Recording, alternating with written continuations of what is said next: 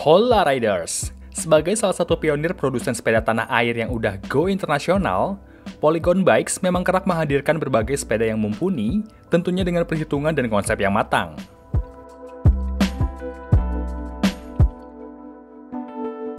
Gak cuma itu aja, Polygon juga seolah mengerti perihal perkembangan sepeda yang lagi naik daun di pasar global maupun Indonesia nih.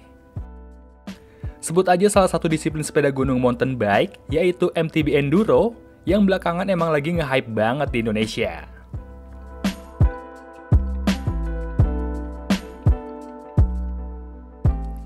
Nah, ngomongin soal perkembangan disiplin enduro atau all mountain, episode kali ini gue akan mereview sekaligus bike check dari salah satu sepeda gunung keluaran Polygon di tahun 2019 yang cukup menyita perhatian para pecinta sepeda nih.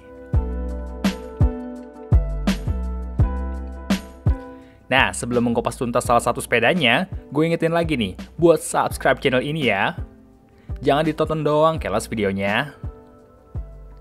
Check this out.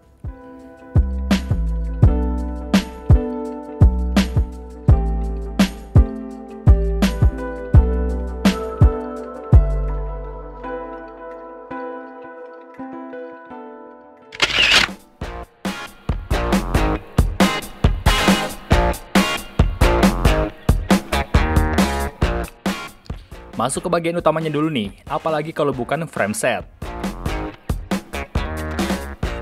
Ya, sepeda ini merupakan Polygon Siskiyou N8 berdimensi 27,5 inci dengan ukuran frame medium.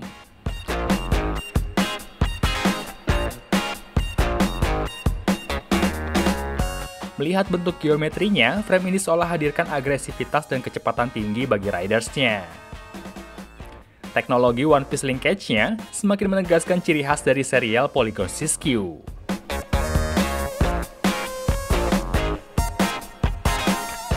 Bagian rear shock atau suspensi belakang, frame Siskiyou N8 sudah menggunakan produk dari Fox berjenis Float DPX2 Air.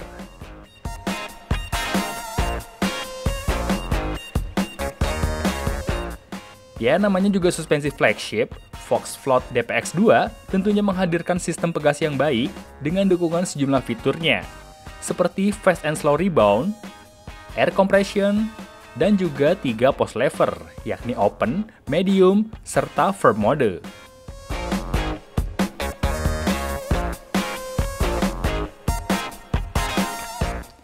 Nah, untuk suspensi depannya juga nggak kalah nih, karena sudah disokong fork dari RockShox Yari RC dengan travel 170 mm.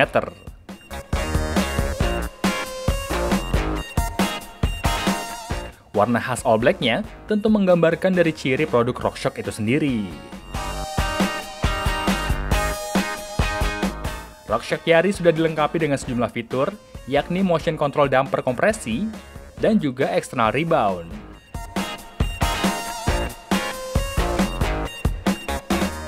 Oh iya, fork ini juga memiliki ukuran spacing boost True Axle 15 x 110 mm.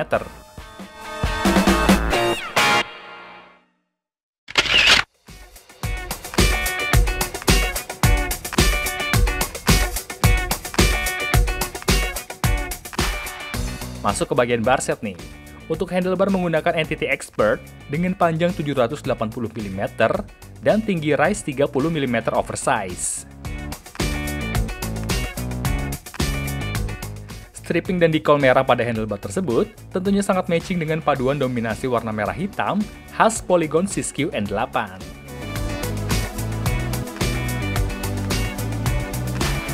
Sama halnya handlebar, untuk bagian stand juga menggunakan produk dari Entity Expert dengan panjang 45 mm.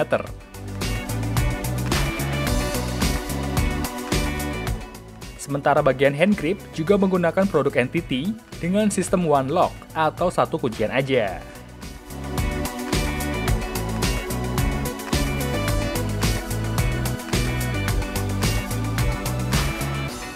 Bagian pengereman atau brake set, sepeda ini sudah didukung produk keren dari Tektro Orion 4 Piston. Yang gue suka adalah bagian brake levernya nih. Modelnya tuh gampang untuk dibongkar pasang karena terdapat engsel yang bisa langsung dibuka tanpa harus mencopot hand grip terlebih dahulu. Namun sayang, ukuran rotor atau disc cakramnya masih terbilang kecil. karena hanya berukuran 180 mm atau 7 inci saja.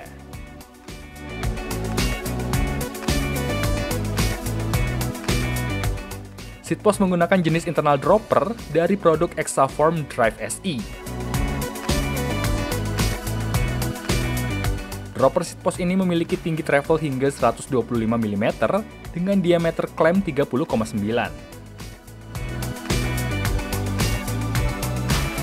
Bagian seat atau saddle masih didukung produk dari entity berseri Assault.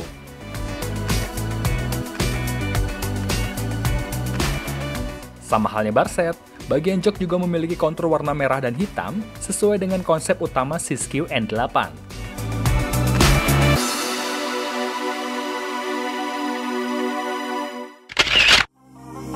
Masuk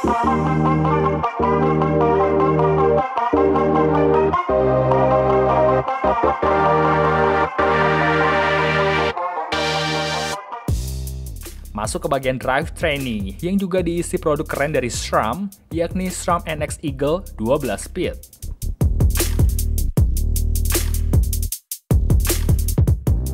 Crank menggunakan Truvative Descendant dengan jenis BB DAP.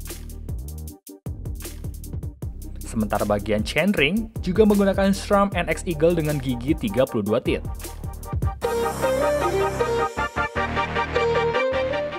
Shifter NX Eagle 12 speed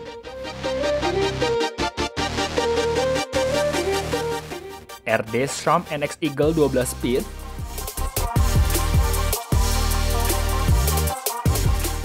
dan sprocket NX Eagle dengan gigi terkecil 11 sampai gigi terbesar di angka 50.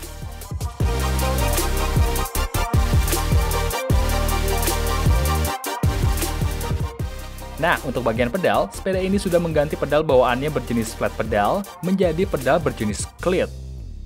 Shimano Sein M820 diklaim menjadi salah satu pedal yang memang diperuntukkan untuk disiplin trail ataupun all mountain. Masuk ke bagian terakhir nih, yaitu wheel set. Untuk bagian hub set depan dan belakang, Siskiyou N8 masih menggunakan produk dari Entity XL2 berjenis Boost.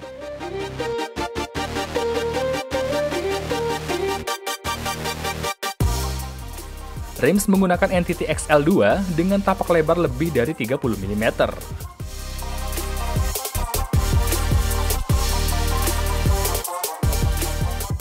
Untuk ban depan dan belakang, sepeda ini didukung sepasang ban dengan kualitas terbaik nih. Dari Schwalbe Magic Mary berukuran 27,5 x 260 inci.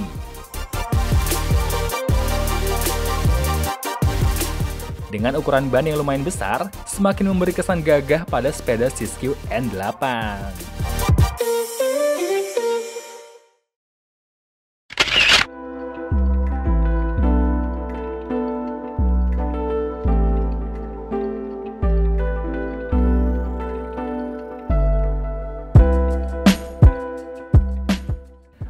Sekian video review dari Polygon Siskiyou N8 tahun 2019 yang merupakan sepeda dari salah satu brother gua nih, Om Dado Wow. Hehe.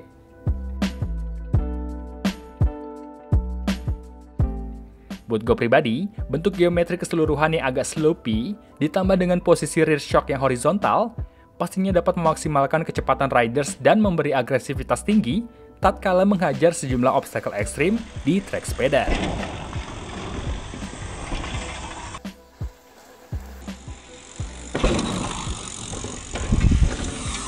Namun terlepas dari itu, kehadiran seri N atau Enduro dari Polygon Siskiyou tentunya bisa sangat membantu para pecinta sepeda gunung dalam memilih tipikal sepeda berjenis Enduro dengan sejumlah komponen yang sudah mumpuni.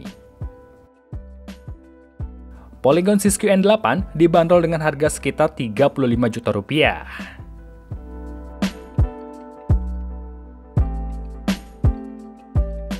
Yuks, langsung aja dikomenin, likes dan share video ini ya guys. Talk less, write more. Ciao!